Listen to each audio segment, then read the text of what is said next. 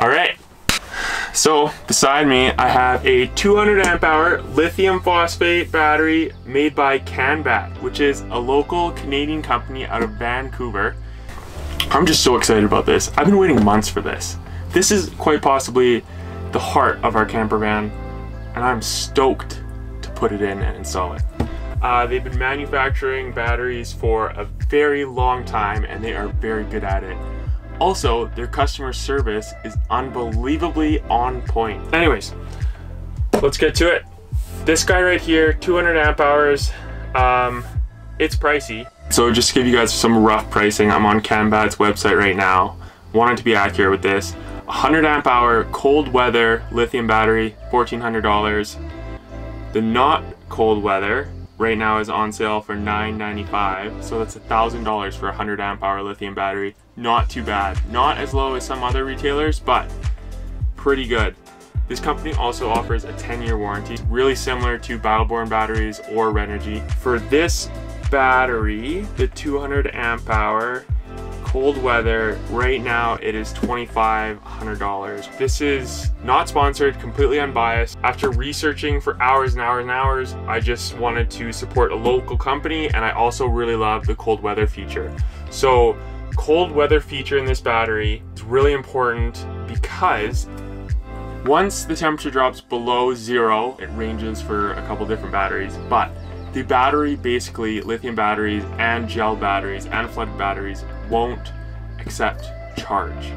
So what this battery does is the BMS senses when the temperature drops below zero degrees Celsius and it'll actually shut the battery off to protect it and then it'll turn on the heating element which is inside and use power to heat it until it reaches a temperature where it will kick in and start charging again.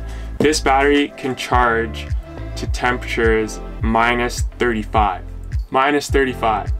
So what that means is you're not leaving your van, leaving the heating system on all the time, burning up diesel fuel. We have a diesel heater. Some people have electric heaters or propane, but either either way, you're burning fuel, um, which isn't necessary just to keep your battery warm inside your camper van. So, boom, solar powers are providing charge to this battery. Very important if you're living in your van, cold climates, us in Canada here, if we want to head out for a day of skiing and it is like minus 15, minus 20 sometimes, we don't have to worry about whether this battery is going to be charged when we get back after being out on an adventure all day. We rented a camper van out last year in February. The fridge, it just kept dying. Just wanted to do a little update on how everything went with the install of the CanBat battery. Uh, it worked flawlessly. Me and Cayleigh just got back from a 10 day road trip along the Icefields Parkway from all the way from Calgary to Banff up to Jasper. It was minus 30 for like the first three days, and this battery performed unbelievable. Like, we stayed warm in here, no problems at all went out exploring the, during the day and the solar panels charged up the battery came back to a full battery. If you go with just your normal lithium battery without a cold weather feature keeping the area that your battery is located warm enough for it to charge is going to be a challenge. Uh, I'm laying underneath our bed right now and this area because it's blocked off from the rest of the area is pretty cool all the cold air sinks to the bottom and this space never really gets warm. So if you're storing it underneath a bed in the back, which is a popular place, um, underneath a bench, you're gonna have to buy a separate heater if you are going to be in cold weather climates to keep that battery warm enough.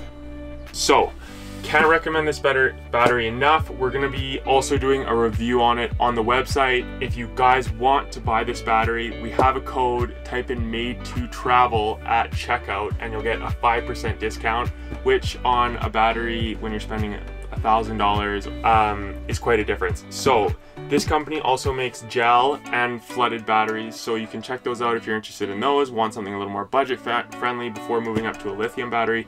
I cannot recommend the lithium battery enough. Um, you can use 100% of its capacity and it also is a heck of a lot lighter. So that's a really nice feature. I just like flooded batteries.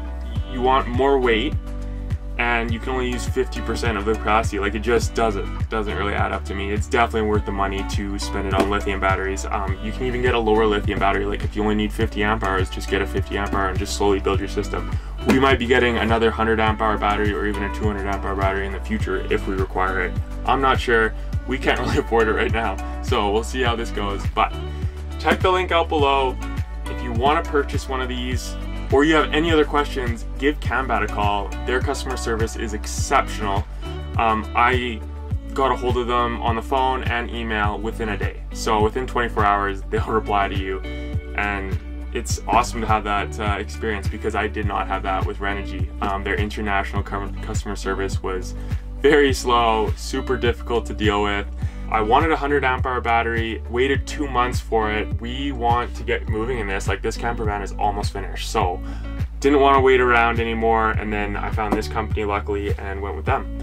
So yeah, check out their website. If you want to buy, use the code made2travel at checkout and you'll get 5% discount. I hope you like this video. I hope you check out this battery. It's an awesome product for solar systems and a lot of other systems actually. Make sure to like this video, subscribe to the channel. We're going to be coming out with a lot more van life content. So stay tuned for that. I will see you in the next one.